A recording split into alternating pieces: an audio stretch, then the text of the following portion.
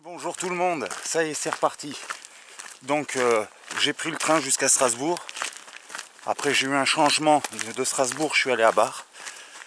De Bar, parce que le GR5 ne passe pas par là. Je me suis donc rendu en Andelo. Et là j'ai dépassé Andelo et je suis déjà sur le GR5. Donc certes, je fais une vidéo un peu tard, mais bon c'est de partout le trajet, forcément. Là, je suis sur un chemin forestier. D'ailleurs, il y a un petit chalet qui est juste là. Et euh, ben ça y est, c'est parti. Donc, cette fois-ci, c'est très simple. Je pars de Andelo jusqu'à Tannes. Je traverse une partie des Vosges. Exactement, euh, je vais faire entre 144 euh, et 150 km. franchement, je pense en faire plus parce que du coup, je vais me décaler un peu de mon trajet parce qu'il y a vraiment de très très bels endroits à voir ici. comme vous pouvez le voir, à l'ombre pour le moment. Les températures sont, excusez-moi je suis un peu essoufflé, sont euh, pile comme je les aime, on transpire quand même un peu mais ça va bien mieux franchement. Et euh, ben, c'est parti quoi, hein. je me languissais, euh, vous pouvez pas vous imaginer. Donc là je file, là je suis un peu essoufflé parce que effectivement Andelo se trouve dans une cuvette et on, bah, forcément on remonte pour arriver petit à petit sur le massif vosgien. Et c'est parti. Donc euh, nous voilà partis pour au moins une dizaine de jours. Tout à l'heure les amis.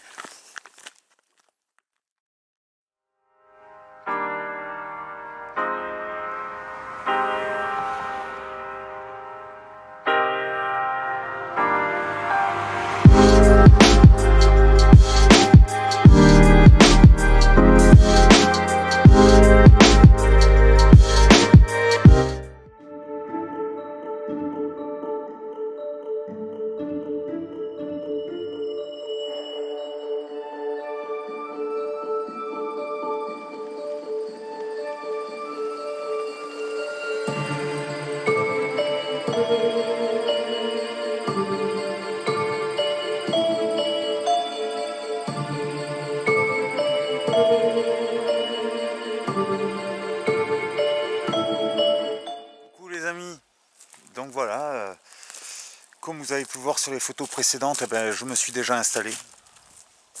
Euh, déjà, c'est 7 h hein. enfin 19 h Donc euh, je me suis installé, j'ai quand même pas mal avancé. Donc effectivement, je suis en plein dans, dans les bois. j'ai trouvé un endroit où, bon, maintenant on n'y voit plus trop, mais j'ai eu le coucher de soleil. Vite fait, vite fait. Et hum, prêt à passer la première nuit. Donc effectivement aujourd'hui j'ai pas trop fait d'image.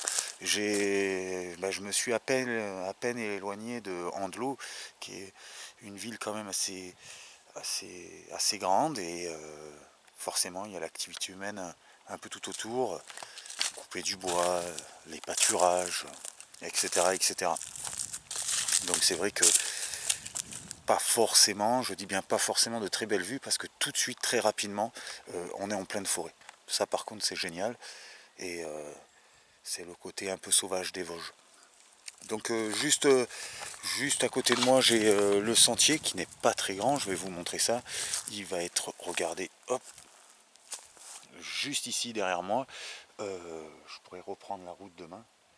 Et là, demain, du coup, c'est vraiment le, le vrai grand départ de ce trek, de l'aventure comme on dit. Donc ce soir, ben, manger, dormir, ça va me faire énormément de bien. Et là, j'aurai beaucoup plus de temps pour avancer et faire le trajet prévu. Car là, j'ai commencé à marcher à, 3 heures. Donc effectivement, euh, de bar, donc qui n'est pas mon point de départ. Euh, de bar, je suis parti à Andelot, il y a à peu près 5 km, un peu moins. Et après de Andelot, mon, mon trek commençait.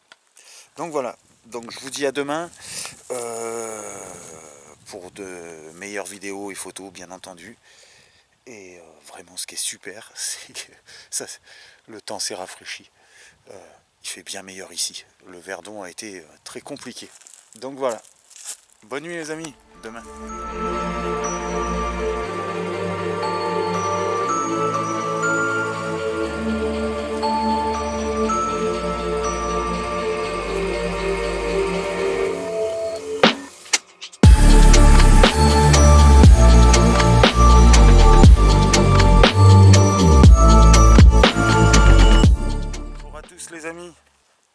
Première nuit passée, ça y est, en plein dans les Vosges. J'ai dormi comme un bébé. Franchement, impressionnant. Euh, moi, je pense euh, très fatigué. Bon, après, j'ai pas mal voyagé aussi, hein, le train. Mais bon, ce matin, je me suis levé, je sors, j'ai pas le temps de faire le café, que il y a trois biches qui sont passées. Euh, qu'est-ce que j'ai vu d'autre? Un renard, enfin c'est. Dès qu'on est dans les Vosges, c'est dingue. C'est tout de suite sauvage. Autant il y a certaines contrées que j'ai pu faire où c'est très, compliqué de trouver quelque chose. Ben là, ça vient direct à vous. Tout simplement magique. Là, je suis. Euh, je vous ai montré la photo à Lungerberg, à 900 et quelques mètres. Donc là, je vais redescendre. Bon, ça va descendre, monter, descendre, monter, mais je me dirige en fait vers Châtenois. Euh, juste à côté de moi, qui est assez fascinant, j'ai la tour Édouard Hering. Apparemment, c'est le fondateur et pionnier du club vosgien de bar euh, en 1873. Donc c'est pas tout jeune. Donc euh, la preuve que l'amour de la randonnée existe depuis très très longtemps. Je vais vous montrer ça d'ailleurs. Hop, regardez. Elle est là petite tour avec la petite table. Et d'ailleurs, on va de suite y monter pour voir la vue. Donc, j'espère que vous n'avez pas été trop déçus d'hier, parce que comme je vous ai dit, j'arrivais à peine. Donc effectivement, euh, comment vous dire, j'ai pas pu faire trop de photos et de vidéos car ben, j'ai commencé la marche très tard. C'est-à-dire que j'ai commencé vers les 15h. Hop, petit escalier sympa. et on est parti pour voir la vue. Donc effectivement, euh, j'ai pas pu euh, trop trop faire de photos et vidéos. Bon, pour moi ça reste de toute façon magique parce que dès qu'on commence, dès qu'on sort de Handelo en fait, on est directement, mais je dis bien directement, en pleine forêt. Et voilà, on est en haut. Et effectivement, ça offre un sacré panorama. Regardez ça. Hop.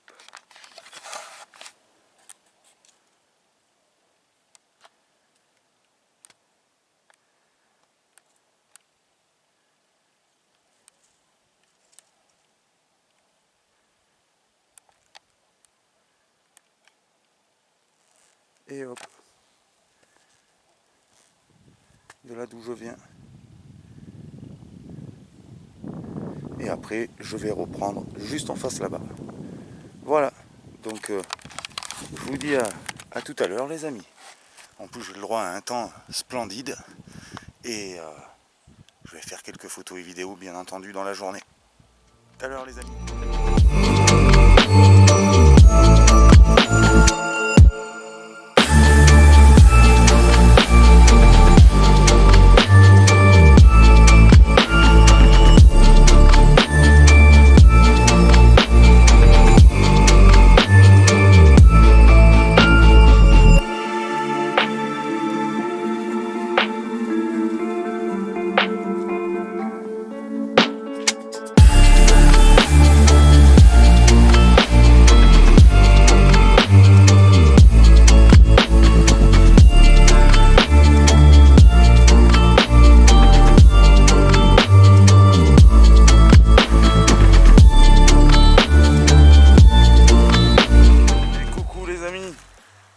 je suis installé.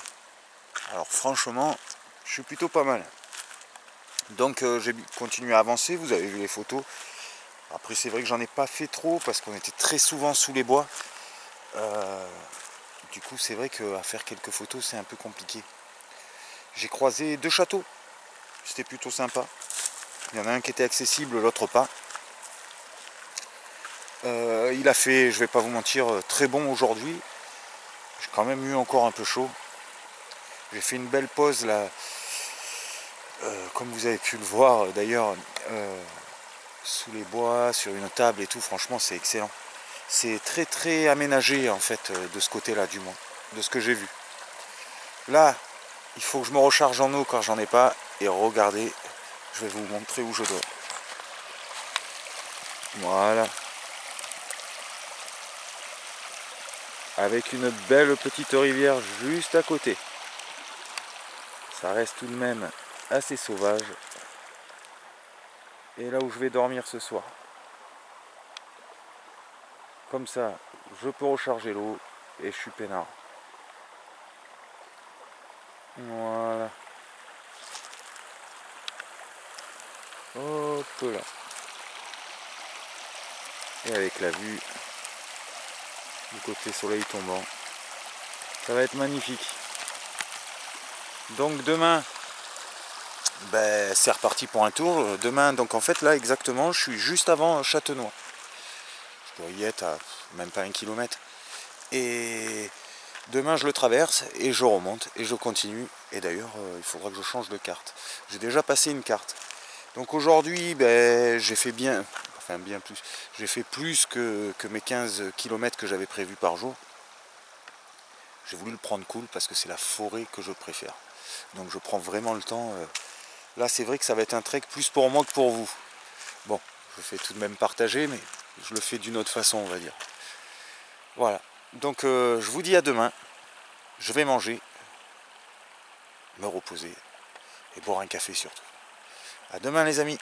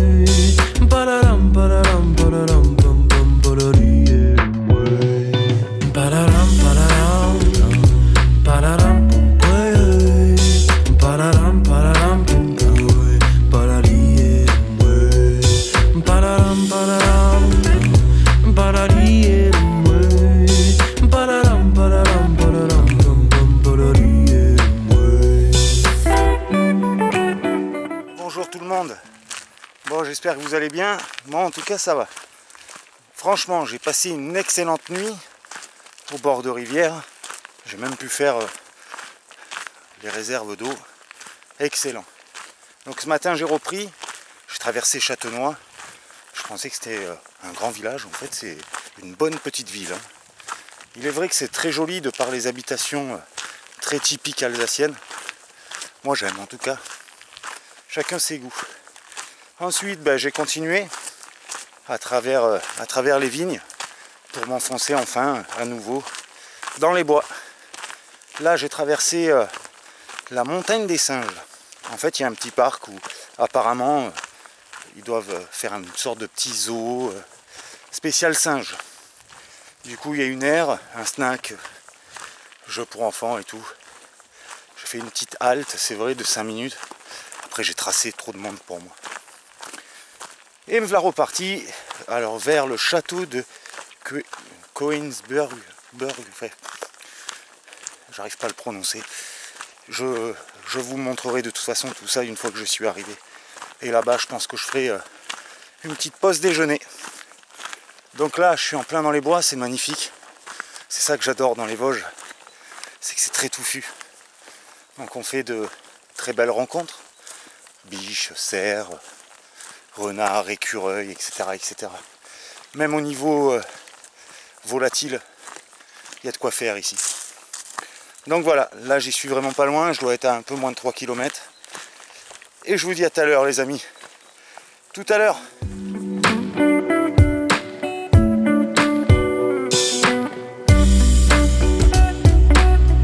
Les amis, donc voilà. Ça y est, j'ai enfin trouvé l'endroit où je vais dormir, c'est assez impressionnant d'ailleurs. Je vais vous expliquer. Donc je suis descendu du Koenigsburg, c'est un château qui est en hauteur. Euh, j'ai pas fait de photos parce qu'en fait euh, c'est hyper touristique, il y a énormément de monde. Donc vous aurez vu plus les gens qu'autre chose. C'était ma foi, moi j'ai pas trouvé ça super. Après, euh, On a tous des goûts différents, bien sûr. Ça a l'air par contre d'avoir une sacrée histoire. Donc euh, n'hésitez pas à vous renseigner ou aller voir, tout simplement. Donc là, je suis arrivé à Tannenkirch. J'ai dépassé Tannenkirch. D'ailleurs, il y a des fontaines d'eau potable pour récupérer de l'eau. Donc sachez-le, si vous passez par là un jour, vous pouvez le faire. Donc je l'ai traversé, j'ai continué bien sûr, et je suis tombé sur cette aire. Donc en fait, c'est une aire où il y a des tables, etc. et tout, qui fait un peu parking devant, juste un peu plus loin, mais qui est vraiment détachée du village. C'est impressionnant. Du coup, là, j'ai personne. J'ai personne. Bon, bien entendu, il y a la route qui est pas loin, qui est juste derrière de ce côté-là, qui fait que, ben, oui, on entend quelques véhicules passer. J'ai le village Tannenkirch aussi qui se trouve ici. J'en vois qu'une maison à peine. Et, euh, mais en tout cas, on est, comment vous dire, on est écarté du village. Excellent. Et du coup, moi, ça me laisse une belle pelouse et un bel endroit pour poser mon camp pour ce soir. Donc là, effectivement, euh, petit à petit, le, soleil se couche. Je vais pouvoir poser ma tente, manger, dormir et me reposer un peu. Demain, direction Ribeauvillé. Il faut absolument que je m'y arrête pour reprendre un peu à manger. Et après, c'est reparti. Là, par contre, à partir de demain, ça va commencer à monter. Donc j'espère qu'en fin de journée, et je verrai pas pourquoi, euh, je serai à peu près vers les 1000, 1200 mètres. Donc là, on va entamer la haute partie du Haut-Rhin, des Vosges du Haut-Rhin. Donc voilà, je vous dis bonne nuit, à demain, et euh, je vais encore faire quelques photos et, et vidéos, vous inquiétez pas. Demain les amis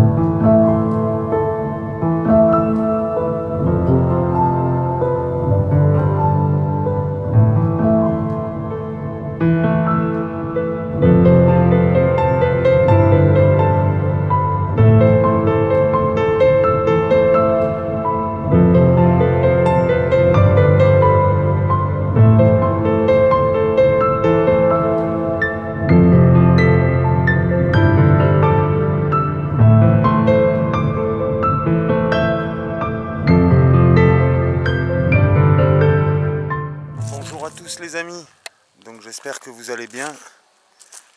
Moi, ça va. Donc là, ce qui s'est passé, c'est que ce matin de Tannenkirch, j'ai remonté jusqu'au haut château de Ribeauvillé. Non, de. de. Ribeaupierre, voilà. De Ribeaupierre. Et après, je suis effectivement redescendu vers Ribeauvillé. De Ribeauvillé, j'ai fait un petit détour par le Carrefour Market, enfin une petite épicerie histoire de me reprendre un peu à manger.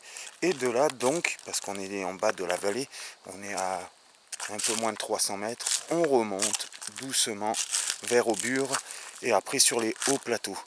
Enfin, pas vraiment des plateaux, mais bon, sur les hauteurs, quoi.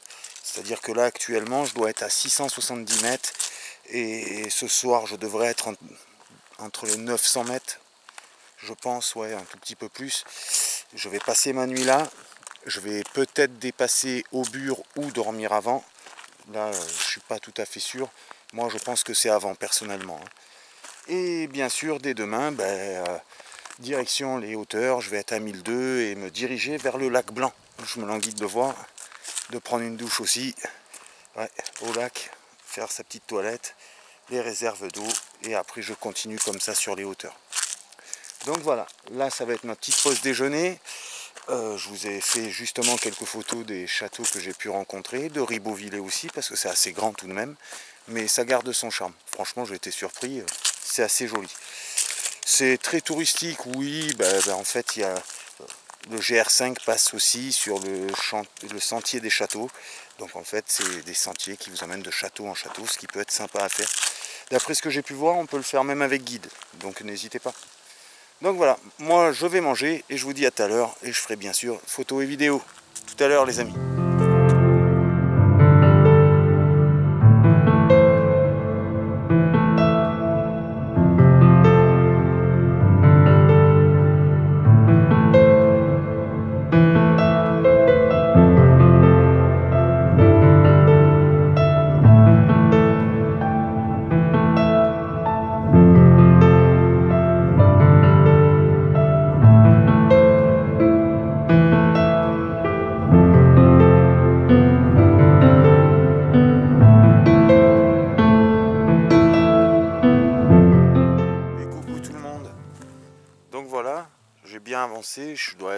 Ou 2 km de Aubure.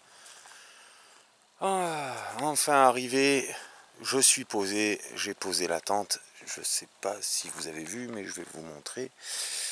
Euh, la marche a été assez compliquée de, de euh, c'est-à-dire qu'on passe de la plaine, même pas 300 mètres, et là par exemple je suis à 900 mètres, sur des kilomètres et des kilomètres, en plus il a fait bon. Donc je ne vais pas vous mentir, ça a été un peu compliqué. J'ai fait un petit arrêt à Ribeauvillé, vite, mais alors vite vite, hein, pour me ravitailler en nourriture, et je suis remonté. Et me voilà donc euh, près de Aubure. Euh, demain mon objectif c'est le lac Blanc. Et vu à la distance où il est, j'espère que je pourrai dormir autour. Euh, en tout cas je vais tout faire pour arriver au lac Blanc, sachez-le. Ça va être magnifique à mon avis. Puis passer une nuit au bord de l'eau, prendre un petit bain, ça risque d'être sympa. Donc voilà. Là, je vous montre vite fait ma tente. Voilà, donc effectivement, je suis posé, hop, regardez le chemin est juste derrière, en plein sur le chemin, mais ce qui s'est passé, c'est que ici, dès qu'on est sur les hauteurs, on n'a vraiment pas trop le choix. C'est-à-dire que ben, il y a un sentier et les bois. Alors c'est pas que ça me dérange de dormir dans les bois, mais c'est que pour trouver un sol euh, adapté euh, pour se coucher, ça reste assez compliqué. Euh, exemple, hop, regardez. Voilà. Donc au lieu de tout tailler pour tomber sur des cailloux, etc. et tout, ou d'être complètement... Mais il n'y a même pas la place là. Parce qu'il y a certains endroits où on est complètement étriqué, mais on peut quand même plus ou moins bien poser la tente. Donc euh, ben là, je me suis retrouvé sur ce chemin-là à être obligé de m'y poser. Bon, après, je vais pas vous mentir. pardon. Euh, le coin, en même temps, j'ai adoré. Regardez ça. Pas beau ça?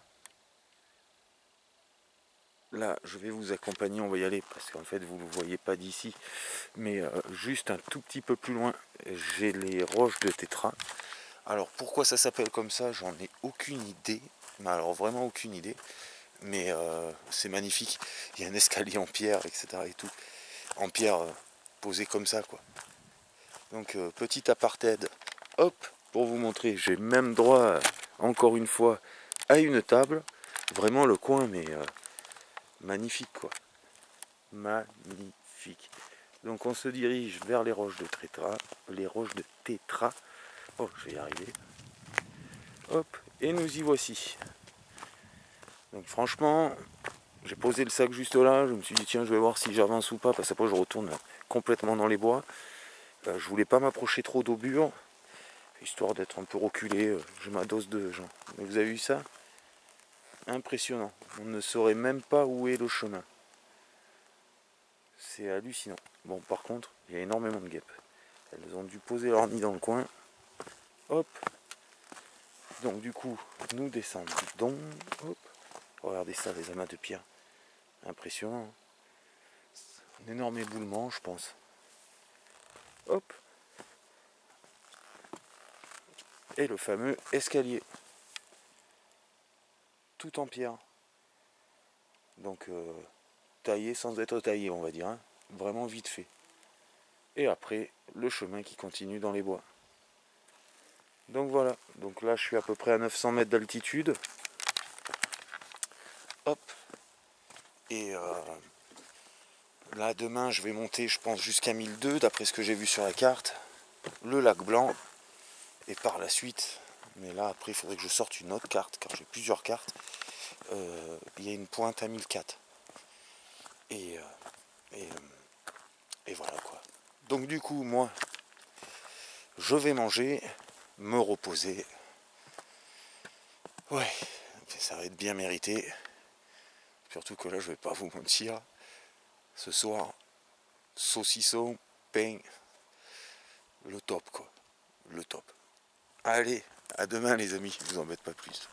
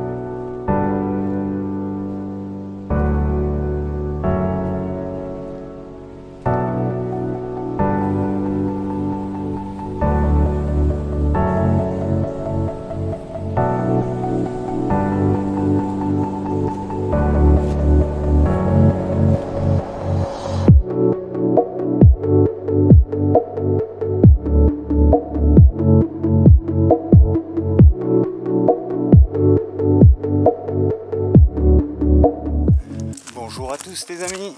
Enfin, recoucou. Donc, bah écoutez, je j'ai essayé de faire le plus de photos et vidéos que, que j'ai pu. Je vais pas vous mentir, aujourd'hui je me suis extrêmement concentré sur la marche. C'est-à-dire que bah, j'ai voulu rattraper le retard que j'avais et prendre de l'avance. Et c'est ce que j'ai fait. La petite mauvaise nouvelle, enfin c'est pas bien grave pour moi, mais euh, je pourrais pas être euh, au lac blanc. Par contre, je serai à l'étang divin. Là, je pourrais faire peut-être un brin de toilette et surtout me recharger en eau, car là, j'ai plus rien. Donc euh, là, aujourd'hui, je vais pas vous mentir, j'ai grimpé, grimpé, grimpé. Je suis allé jusqu'à Le Bonhomme. Et à partir de Le Bonhomme, parce qu'on descend, j'ai regrimpé, grimpé. Je suis euh, naze complet. Oh, je suis passé euh, ouais, de sacré dénivelé là par contre. Donc là, je vais continuer. Je me dirige vers l'étang divin. Et là, je pose le camp. Je l'aurais bien mérité. Donc aujourd'hui, là actuellement, je dois être pas loin des 22 km. J'aurais bien tout rattrapé tout ça. Franchement, j'ai assuré. Ouais. Tout à l'heure, les amis. Tout à l'heure.